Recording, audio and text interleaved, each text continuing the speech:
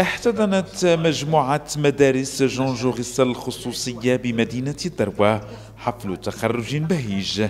احتفاء بالتلميذات والتلاميذ المتفوقين حيث بوأت المؤسسة صدارة نسب النجاح والتي بلغت 100% بالإضافة إلى المعدلات المشرفة على الصعيد الإقليمي لفوج أطلق عليه اسم محمد صديق معنينو للموسم 2022-2023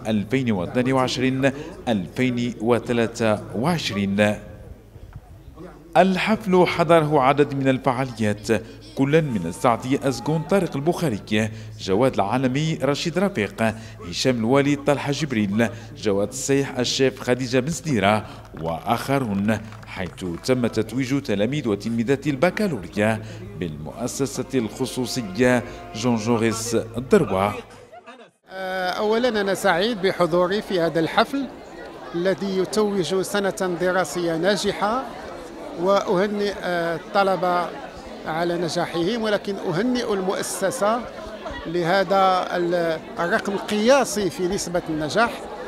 وهذا راجع أولا إلى شخصية الحاج إبراهيم مدير هذه المجموعة الذي يتابع بكل أريحية النشاط التربوي والتعليمي. وشكرا للطاقم التدريسي الطاقم الذي تابع طيلة السنوات الماضية تكوين وإعداد هؤلاء الناجحين والناجحات وأنا سعيد لكون عدد الناجحات هذه السنة مرتفع جدا وأتمنى لهن ولهن النجاح في الدراسة الجامعية المقبلة. كما كتشوفوا كاملين إحنا في مجموعة مدارس جون جوريس. اولا كنشكروا آه، سي إبراهيم النعناعي مدير آه، المؤسسة. كنشكروا جميع العائلة اللي هي إحنا كنعتبروها عائلة اللي هي تربوية وإدارية وفنية.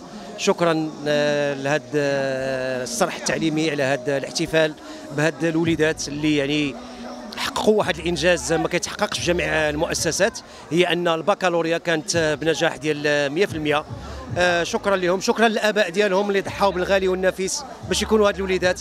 وهذه رساله لجميع آه، التلاميذ اللي في السلك الإعدادي والسلك الإبتدائي أنهم يشوفوا الحمد لله هاد الوليدات اللي في البكالوريا واللي استطاعوا أنهم يتجاوزوا بنقاط يعني اللي هي مهمة جدا اللي وصلت ل 18 ونص وهذا شيء مشرف لا داخل مدينة الدروة ولا اقليميا. شكرا مجموعة مدارس جون جوريس. شكرا لهاد الآباء وهذا الاحتفال الجميل. وما غيكونش أول مرة إن شاء الله ولا آخر مرة بالمزيد من التألق والنجاح إن شاء الله.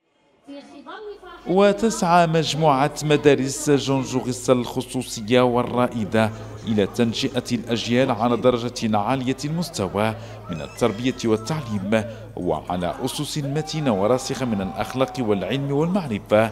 وتعتمد في هذا الإطار على طاقم إداري وتربوي متمكن ذو خبرة كبيرة في هذا المجال.